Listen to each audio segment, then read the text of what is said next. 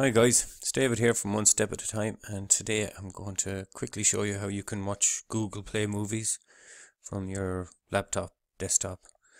Um, I ran into this problem a while ago where I could only watch it on my phone but I wanted to watch it on laptop. Um, so I'm quickly going to show you how to do it. There's two ways of doing this. One is this up here, Chrome App Launcher, my preferred way and the other one is just add an extension to your Chrome browser. So the first one is the download for this Chrome app launcher. So I'm just going to open this page up.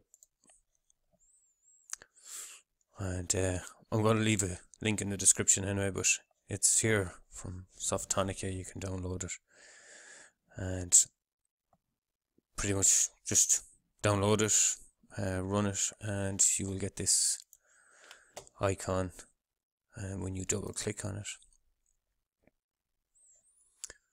it will launch and then you can just pick whichever you want to launch. So let's say you've bought one of the movies. And then you just go to my movies and all your films in it. Just uh, press play. That's one option. And the other option then is to go to Chrome. Uh, just go into your extensions. I have it already but if you want to find it just click here go down to more tools go to extensions. When you click extensions you'll get this.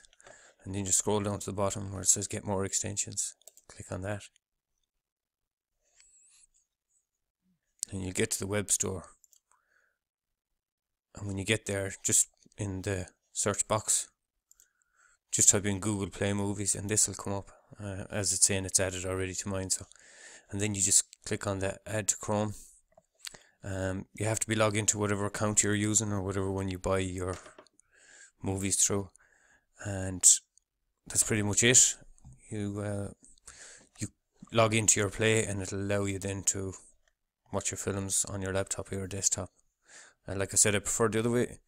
If you like the video, hit the like button, subscribe if you like. If you have any questions, uh, just work away, ask, and I will see you in the next video. Cheers, bye.